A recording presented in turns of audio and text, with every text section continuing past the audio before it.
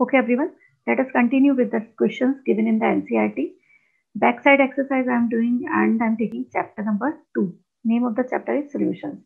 So let's start doing it and I am doing question number 8 from NCRT question. Okay, so the question is, it is saying that an antifreeze solution is prepared from 2 to 2.6 grams of ethylene glycol. तो आपको एक component दिया है W1 लिख देती हूँ मैं इसको it is 2 to 2 222.6 gram. This component called ethylene glycol. Ethylene glycol is given. They are making antifreeze solution and they have mixed this ethylene glycol with water. Ethylene glycol का मास इन्होंने दिया है two twenty two point six ethylene glycol का formula क्या होता है C H two C H two O H and O H If I write down the molecular formula, structure नहीं लिखूँ तो C2H6O2. And uh, I'm calculating here the molar mass of this thylene glycol also कि you will need it. तो MM1 लिख देती हूँ मैं इसको यहाँ. So what is it? 2 into 12 plus 6 plus 16 multiplied by 2. ठीक है. When you will calculate it, you will get it as 60 four sixty four में सिक्सटी टू ग्राम आपको सिक्सटी टू ग्राम्स मिलेगा, ये grams per mole this is the molar mass of this ethylene glycol ठीक है अब चलते हैं आगे डब्ल्यू टू नेक्स्ट कॉम्पोनेंट क्या दिया है जिसके साथ this ethylene glycol is mixed it is water and this water is 200 grams. So, the mass of the water given is 200 grams. So, this is water. Okay. I'm writing down the molar mass of the water also.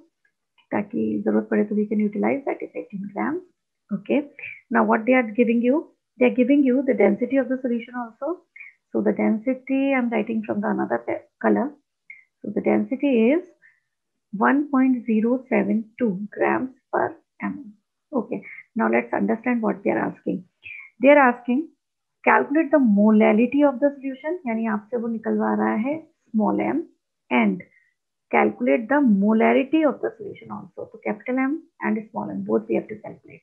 Okay. So let's start with the calculation of small m. क्योंकि small m हमारे लिए आसान रहेगा because already they have given the mass of the solvent, they have given the mass of the solute, they have given that molar mass of the substance. तो सब फटाफट से निकालते हैं. Molality of the solution can be calculated as moles या number of moles of C2H6O2 ethylene glycol divided by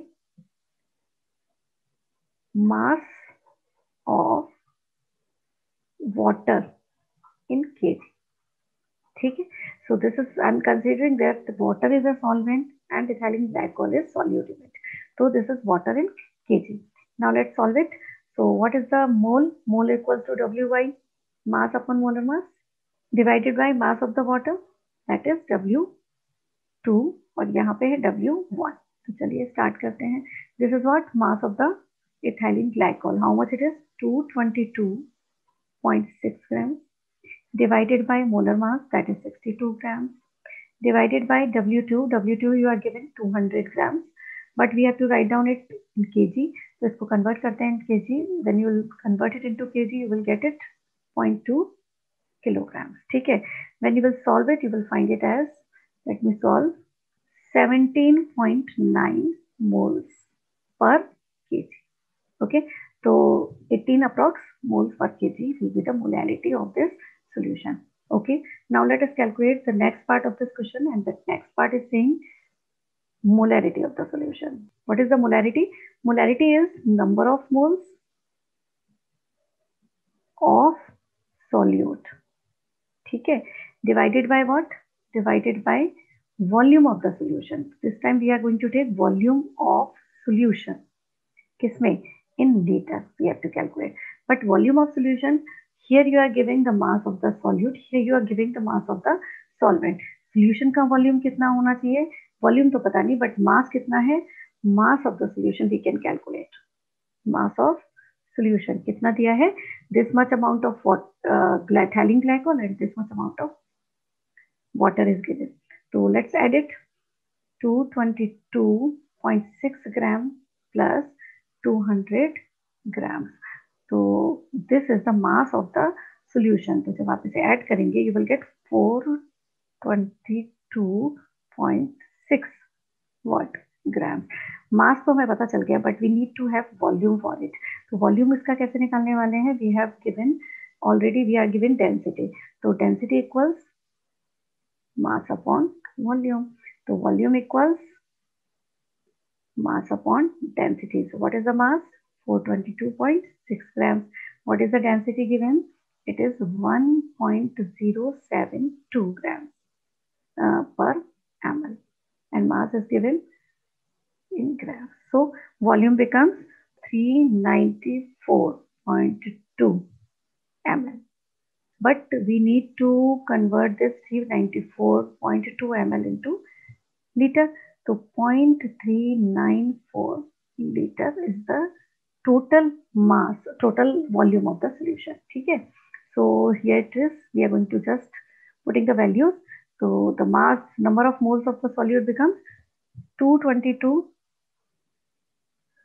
0.6 divided by 62 divided by 0.394 ठीक है? तो देख लीजिए it is 222.6 divided by 62 multiplied by 0.394 calculate करना है तो जस्ट कैलकुलेटेड इससे पहले मल्टीप्लाई कर लेती हूँ मैं।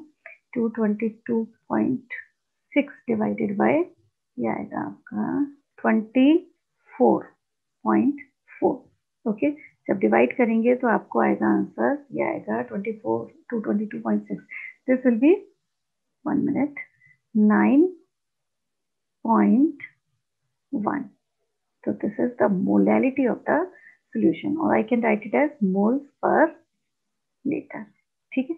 So we have we have calculated it like you are given two of the substances which are mixed to form a antifreeze solution.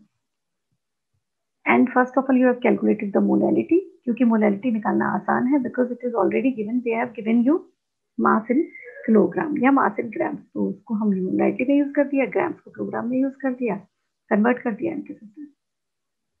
Next पे चले. So let's talk about the next question. Let's take the another question. Another question I am taking question number nine. Okay. So question number nine is question number nine is saying a sample of drinking water is found to be severely contaminated with chloroform. तो आपके जो sample है, उसमें sample में water के sample में there is chloroform this is C H C L three which is called chloroform ये मिला हुआ है and it is suppose to be carcinogen carcinogen क्या होते हैं? These are the compounds which are suppose to be responsible for the cancer in the humans तो cancer के लिए responsible substances are called carcinogen तो this is called carcinogen. A level of contamination was 15 ppm by mass. तो कितना CHCl3 है? इसका है contamination is parts per million दिया है आपको 15 ppm. ओके तो ये 15 ppm है। इसका मतलब क्या है? 15 ppm का मतलब होता है 10 रेज टू पावर 6 ग्राम्स में we have 15 gram of CHCl3 10 raised to power 16 gram of sample of water में you will be having 15 grams of CaCl3 तो 10 raised to power में से जितना भी होता है that is called ppm ठीक है तो this is 15 ppm now let's see what is uh, what they are asking express this in percentage by mass तो ये जो concentration term है this is ppm इसको आपको express करना है in mass by mass percentage ठीक है हमें कोई दिक्कत नहीं है because we are already considering this 10 raised to power 6 में से 15 ग्राम तो बस लिख लीजिए mass percentage mass percentage of chloroform कितना हुआ? Ten raise to power six में से फिफ्टीन तो हंड्रेड में से कितना? Fifteen upon ten raise to power six multiplied by hundred ठीक है? तो बस इसी तरीके से निकाल देंगे this is fifteen divided by ten raise to power six multiplied by hundred हमें पता है that 10 raised to power 6 grams of the sample contains 15 gram so what is percentage out of 100 so 100 में से कितना that is what we are doing so the answer will be 1.5 into 10 raised to power minus 3 this is the percentage mass percentage of chloroform in the given sample. Next later. So the next thing which is asked is determine the molality of the chloroform in the water sample. तो अब जो next चीज़ पूछी है, वो आपसे पूछी है molality तो मोलैलिटी के लिए molality is represented by small N अब मोलैलिटी के लिए आपको क्या चाहिए? मास चाहिए सब्सटेंस का हमारे पास है दैट इज़ फिफ्टीन ग्राम और मोलैलिटी के लिए हमें मास ऑफ़ द सॉल्वेंट चाहिए तो ये क्या है? Ten raised power six gram but you must be knowing कि ये जो है सोल्यूशन का ग्राम मास है. This is the mass of the solution total sample इतना दिया हुआ है, ठीक है ना? तो हमें टोटल सैंपल नहीं चाहिए, हमें तो mass of the solution solvent चाहिए। तो मास ऑफ़ द सॉल्वेंट से, के लिए what you will do mass of solvent equals to mass of solution minus mass of solute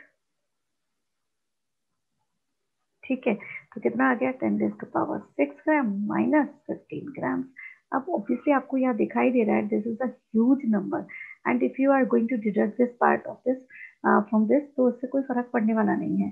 तो we will take it approximately equal to ten raise to power six gram तो यहाँ पर मास of the solvent और मास of the solution का कोई फ़र्क नहीं पड़ेगा। तो I am taking this mass of the solvent as ten raise to power six gram ठीक है?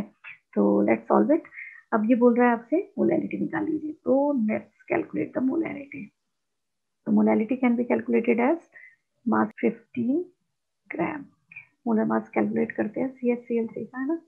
C H C L three तो what is the molar mass it is 12 plus 1 plus 35.5 multiplied by 3 this is 73 70 okay, when you will calculate this आपको answer आएगा 119.5 gram so the molar mass of the chloroform is 119.5 so the number of moles of chloroform will be 15 gram divided by 119.5 gram so this is the number of moles dissolved in mass of the solu solvent तो mass कितना दिया है? हम लोगों ने सेल solvent का mass कितना लिया?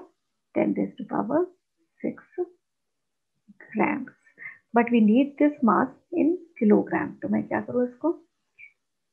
10 raised to power 6 को किलोग्राम से ग्राम से किलोग्राम में बदलेंगे तो ये हो जाएगा 10 raised to power 3 divided by 10 raised to power 3 कर देंगे ना? तो this is what 10 raised to power 3 तो द आंसर इज़ नाउ ये हो गया आपका one five divided by one one nine point five multiplied by ten to power three ठीक है? क्या? के जी है ना ये?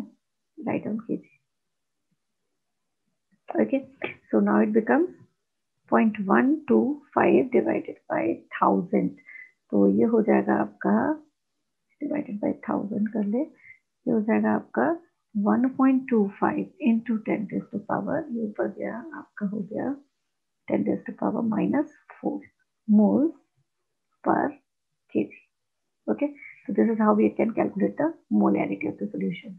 Okay, so I hope it is clear to you. What is ppm? ppm is the parts per million. यानी कि कितने में से total sample में से कितना part of that substance है तो sample कितना ले रहे हैं आप every time when you talk about the ppm 10 raised to power 6 में से कितना sample is of that um, वो आपको पीपीएम देता है टेन डिस टू पावर सिक्स में से कितना है कॉल्ड पीपीएम जैसे हंड्रेड में से कितना है कॉल्ड परसेंटेज बिल्कुल वैसे PPM is टेन डिस टू पावर सिक्स में से कितना है इज कॉल्ड पीपीएम ठीक है चलिए let's talk about the next question the next question I am taking here is question number ten eleven I am taking question number 13 now okay so meanwhile we have questions but they we, i don't think we need to they are theoretical one Okay, now I'm solving question number 13.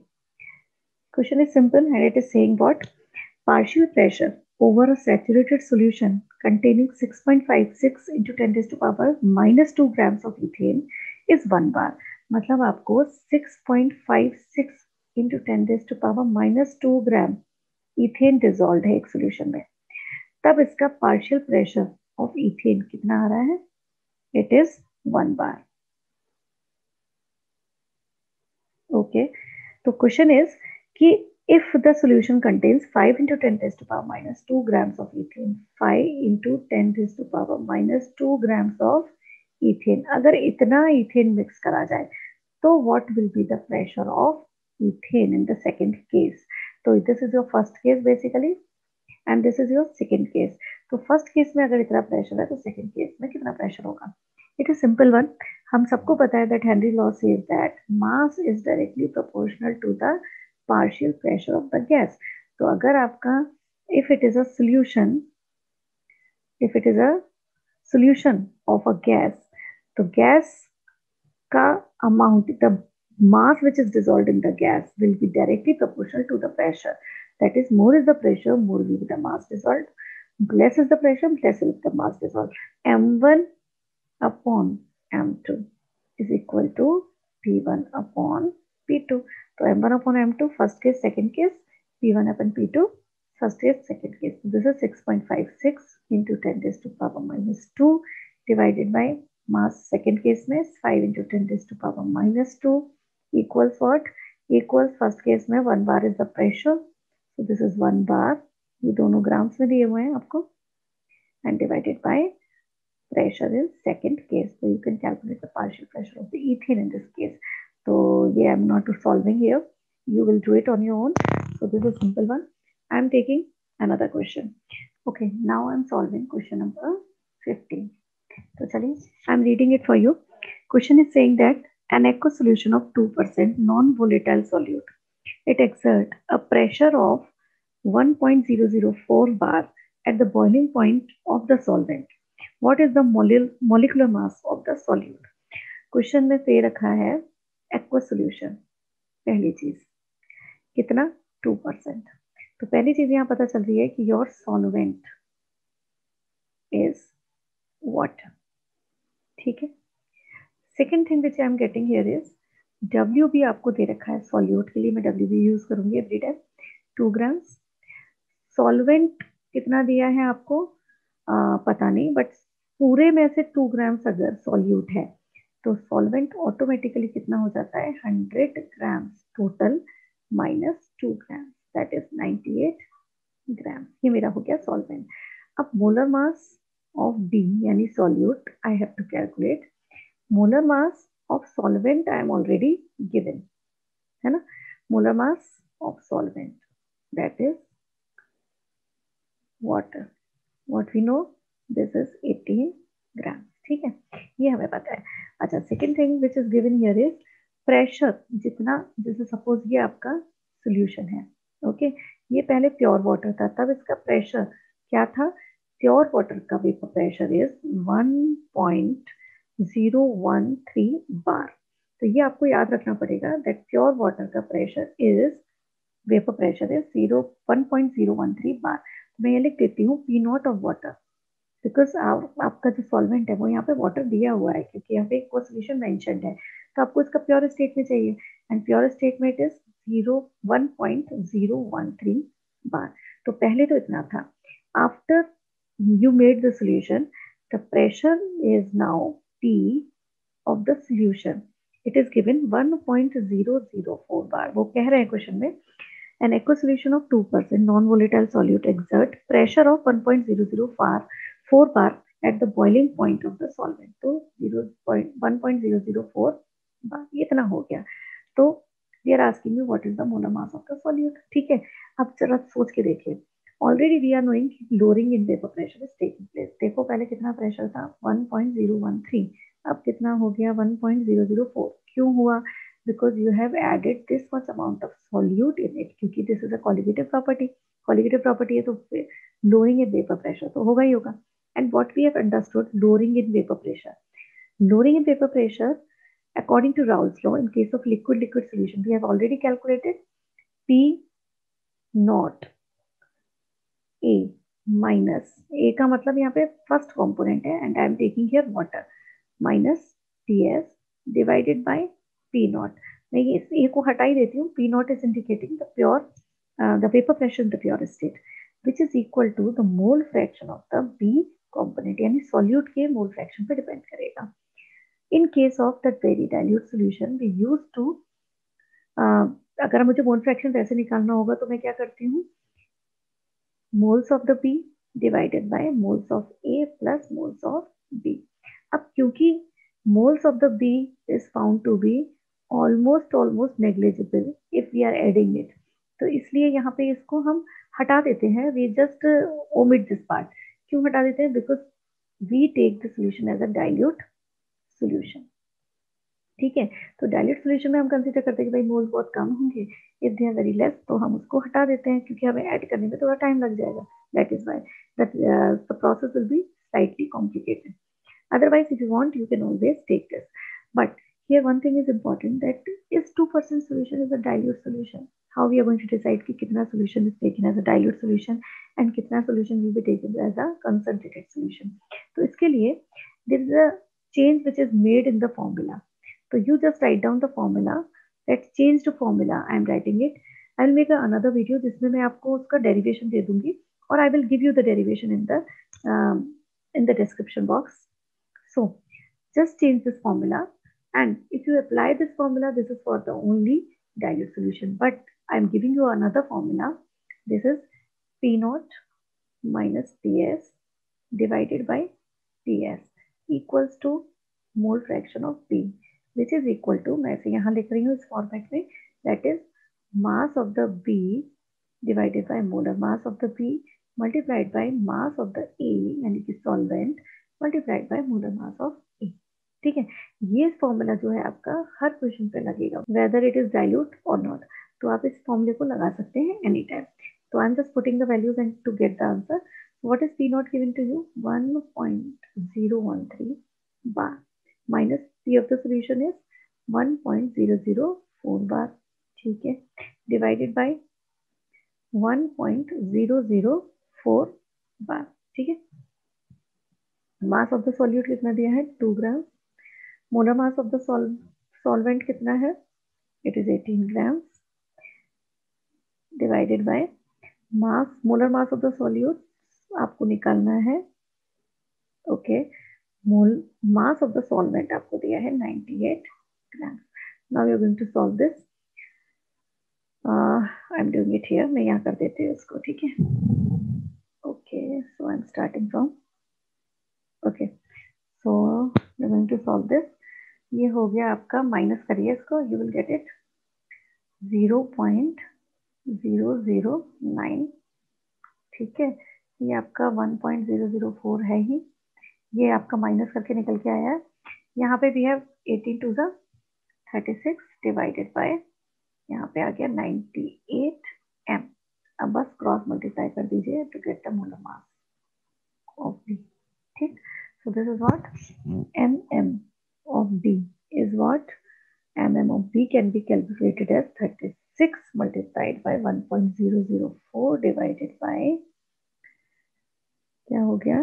0.009 multiplied by 98 तो जब आप calculate करेंगे 36 multiplied by 1.004 ये आपका 36 37 मान लीजिए, ज़्यादा ज़्यादा ज़्यादा फ़र्क नहीं पड़ेगा।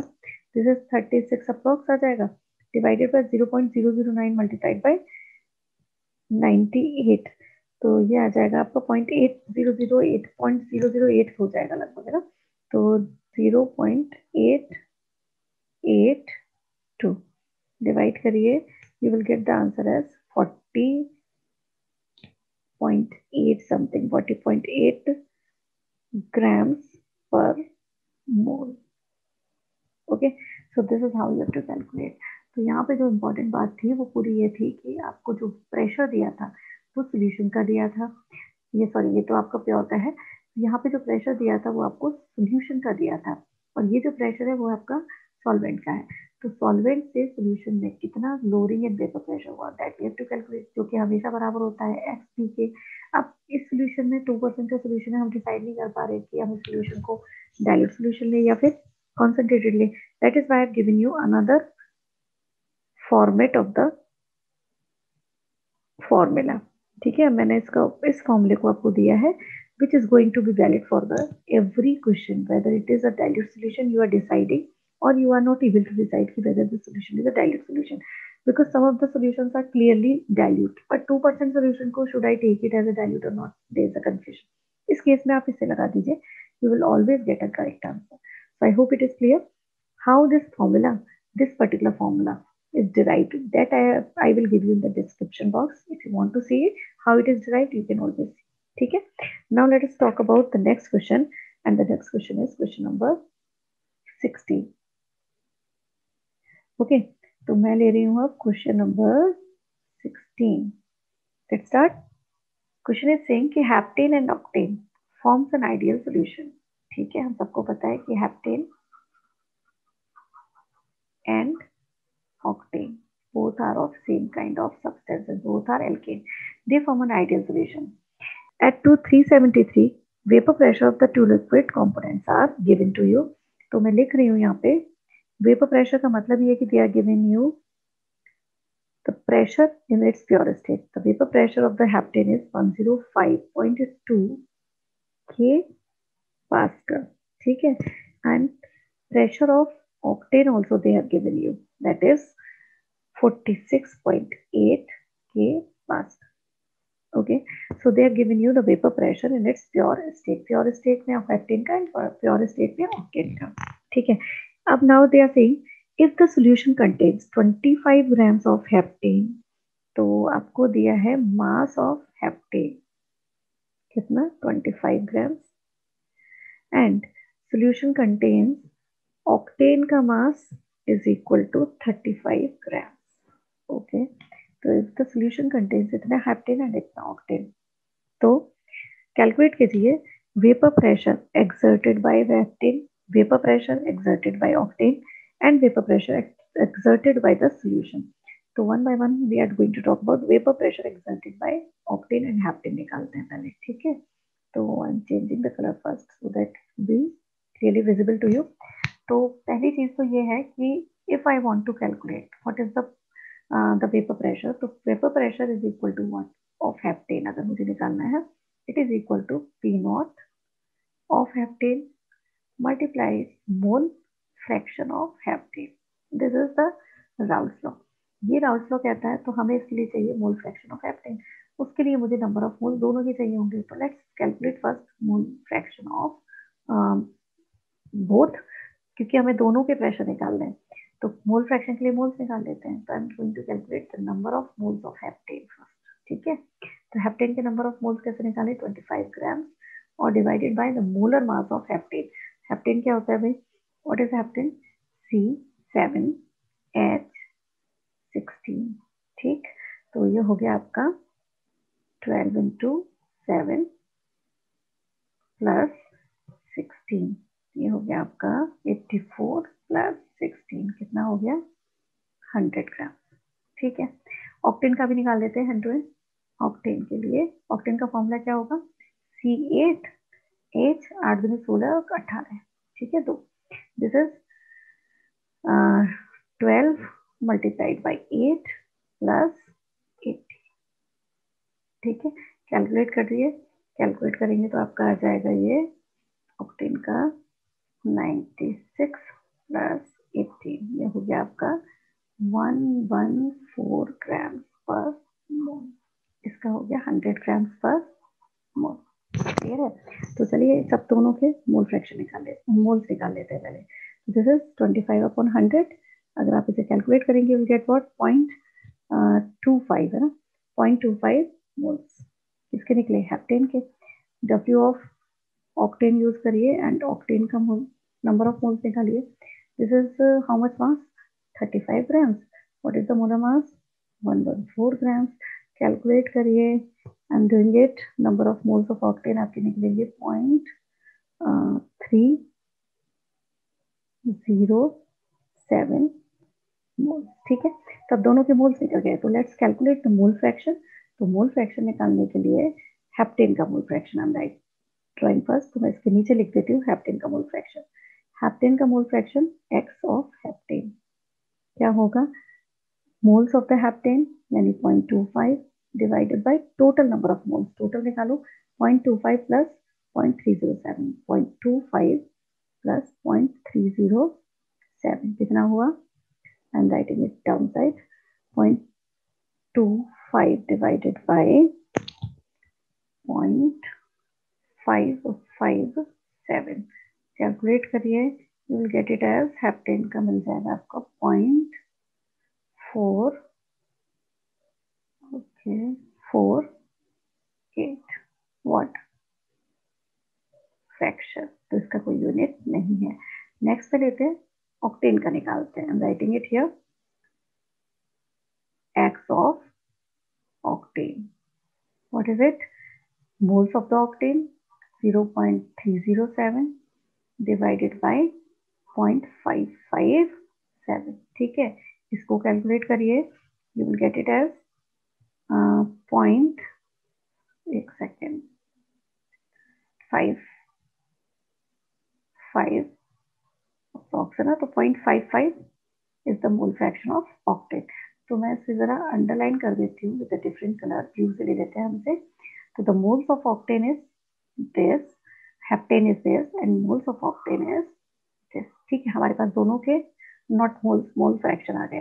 तो अब जल्दी से इसका कैलकुलेशन कर लेते हैं। Okay so let's do it heptane का pressure is heptane pressure of heptane is P not of heptane कितना दिया हुआ है? P not of heptane 105.2 multiplied by mole fraction of heptane. This is given 0.448 0.448 ठीक है? तो ये कितना हुआ? 0.448 के हिसाब से। Okay 47.23 kilo pascal. Okay now what next case में I am doing it for octane तो प्रेशर ऑफ़ ऑक्टेन कितना होगा? Partial pressure of the octane? Sorry vapour pressure of the octane multiplied by its mole fraction ठीक है? तो vapour pressure of the octane is given 36.8 kilo pascal multiplied by mole fraction कितना दिया? 0.55 we calculated look at this ये calculate किया ना मतलब 0.55 जब आप इसे कैलकुलेट करेंगे you will get the mole fraction as 25.7 ठीक है? तो दिस इज़ 25.7 किलो पास्कल। ये तो आपके हुए प्रेशर अब ये पूछ रहे हैं vapour pressure separately now the next part of this question is यानी ये आपका हो गया first part this is your second part and the third part they are asking in third part they are asking vapour pressure exerted by the solution तो ये total pressure पूछ रहा है पीटी तो exerted by the solution तो PT is equal to PA plus PB होता है यहाँ पे A और B क्या है ऑक्टेन एंड हेप्टेन तो I am just adding 47.23 plus 25.7 kilo pascal so how much it is it is now just add it just add it you will get the answer as 73 something 73 kilo pascal so answer will be 73 kilo pascal pressure so pressure total pressure of the solution will be above the solution will be this now the fourth part is part 4 is saying mole fraction of the octane in the vapor phase तो इसको please याद रखिएगा important है mole fraction in vapour phase तो मैं लिख रही हूँ यहाँ पे mole fraction in vapor phase.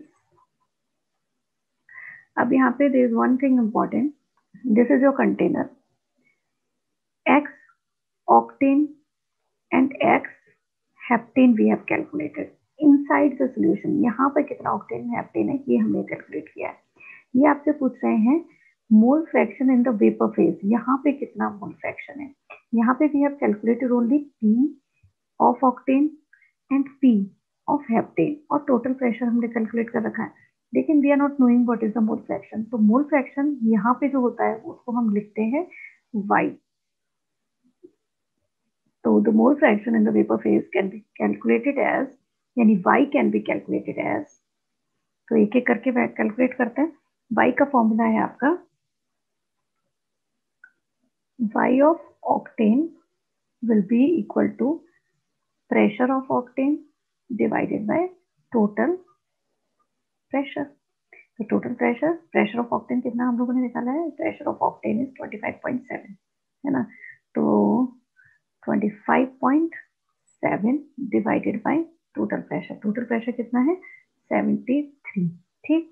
तो टोटल प्रेशर ये आपका आता है Y of octane if you want to calculate Y of heptane कैसे निकलेगा? Pressure of heptane divided by total pressure pressure of heptane कितना दिया है आपको? 47.23 divided by what total pressure 73 अब आप जब कैलकुलेट करेंगे तो आपको ये मिल जाएगा approx point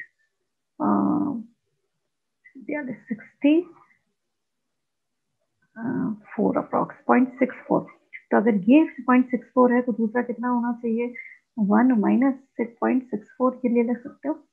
या सीधे कैलकुलेट कर दो तो ये आपका one minus point six four approx approx आ जाएगा आपका जीरो पॉइंट थ्री फाइव ठीक है तो this is mole fraction of octane this is mole fraction of heptane ठीक है so this way you are going to calculate the mole fraction in the vapor phase so don't get confused with the mole fraction in the solution mole fraction in the vapor phase mole fraction in the vapor phase can be calculated by the pressure vapor pressure या कह सकते हो partial pressure of those gases in the vapour phase तो partial pressure से आप calculate करेंगे क्योंकि these are their vapour phase के।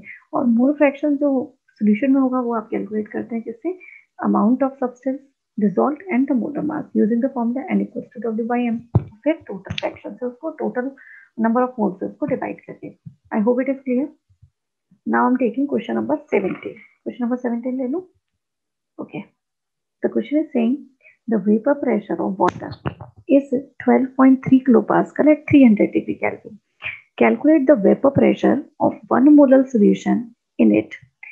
तो यहाँ पे सिंपल सा क्वेश्चन है. The question is saying the vapour pressure of the water is 12.3 kilo pascal तो मुझे दिया हुआ है P not of water is 12.3 kilo pascal अब आप यहाँ पे one thing you are observing here that you are giving the different pressures at the different temperature तो वाटर का वेपर प्रेशर चेंज होगा विद द डिफरेंट टेम्परेचर्स तो please don't consider this कि एक बार आपने फिक्स कर दिया, याद कर लिया तो you always remember but you just see the temperature every temperature at every temperature the pressure will change तो यहाँ पे दिस इज़ गिवन और क्या दिया हुआ है? They are given you calculate the vapour pressure of one molar solution one molar solution का vapour pressure बताना है आपको. वन मोलर सोल्यूशन ठीक है? तो पहले तो देखिए वन मोलर सोल्यूशन का मतलब क्या है? One molar solution means क्या? It means what? One mole solute in thousand gram water ठीक है? क्योंकि वाटर में सोल्यूशन बनाया गया वन मोल सॉल्यूट डिजॉल्व है in thousand gram of water this means one molar solution वही होता है वन मोलर सोल्यूशन कितने moles are dissolve in one K G of water वही उसका मोलरिटी होती है। तो थाउज़ेंड ग्राम को what is the we can convert it into mole तो क्या हम, ताकि हम उसका मोल फ्रैक्शन निकाल तो thousand gram of water equals to what number of moles of water निकाल लें is that mass upon molar mass जब आप इसे कैलकुलेट करेंगे you will find it 55.55 moles ठीक है, याद रख लीजिए इसको तो। कि थाउज़ेंड ग्राम में 55.55 मोल्स होते हैं, ठीक है? तो हमारे पास अब एन ऑफ़ सॉल्यूट है which is one mole and हमारे पास एन ऑफ़ वाटर भी है विच इज़ 55.5 मोल तो क्या हम मोल फ्रैक्शन निकाल सकते हैं? Can we calculate the mole fraction of solute निकाल दें। तो this is moles of solute divided by total number of moles 1 upon 55.55 ठीक? तो दिस इज़ 1 अपॉन 56.55 तो जब आप कैलकुलेट करेंगे you will get the answer as zero point zero one seven seven is the mole fraction. So just get it done.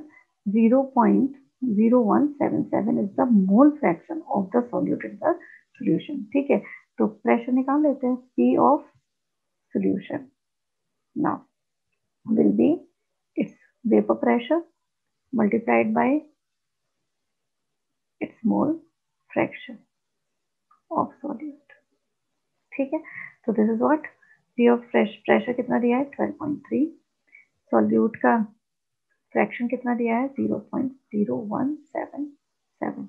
So 12.08 kilopascal. So this is the vapor pressure of the solution in which one mole of the solute is dissolved. I hope it is clear to you. Now in the next video, I will take question number after 70. So please keep watching the video. If you like this video, please hit the like button, share it and subscribe my channel. Thank you very much.